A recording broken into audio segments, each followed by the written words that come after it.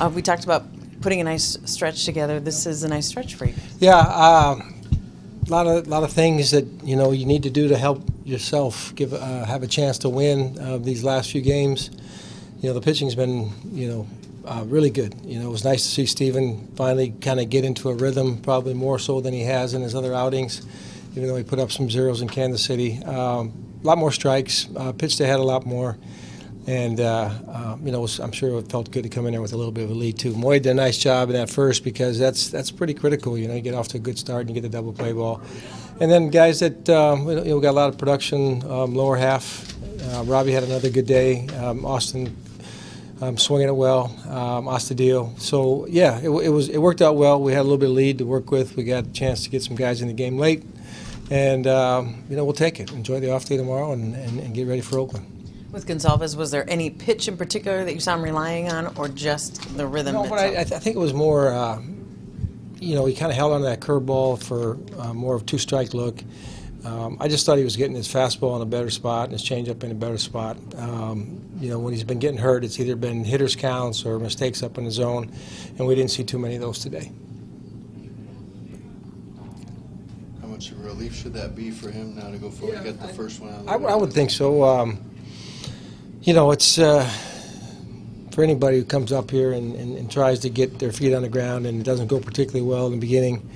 There's always that, that, that doubt factor, and, and, you know you're battling the mental part of the game. Um, so I, I think from that aspect, you know, having a little bit of a lead was probably a good thing for him. But yeah, hopefully, you know, you, you take it. Um, he's going to get another opportunity here before we're done to get out there and try to back it up. Adri- Adrianza betting left-handed against Yeah, left? um, his, his left shoulder's been bothering him some on the right-handed swing, and um, you know, if you guys you know recollect that his last couple of bats that he did bat right-handed, you know, he bunted, and we were just trying to stay away from that. He's been working on trying to get it better to where he's comfortable enough swinging.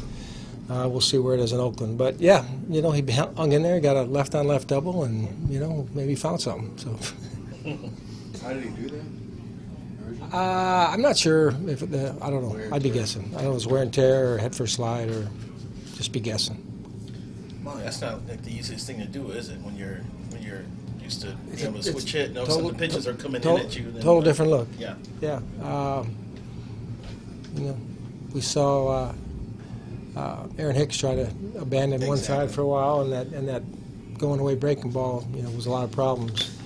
But uh, yeah, he saw some pitches in that first at bat, and he got a hanging curveball. He popped up, and then he got a double on a fastball. So I thought he had a better chance, uh, you know, so hitting left-handed and just trying to slap it right-handed. So probably a good experience for him.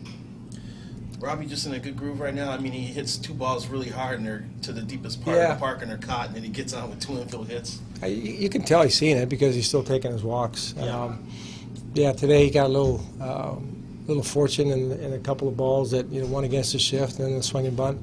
But I think overall, you know, his his play as of late, you know, he's given a chance to hit in the heart of the lineup there, and he's been producing. So it's, it's nice for him to see him. Nice to see him finish strong.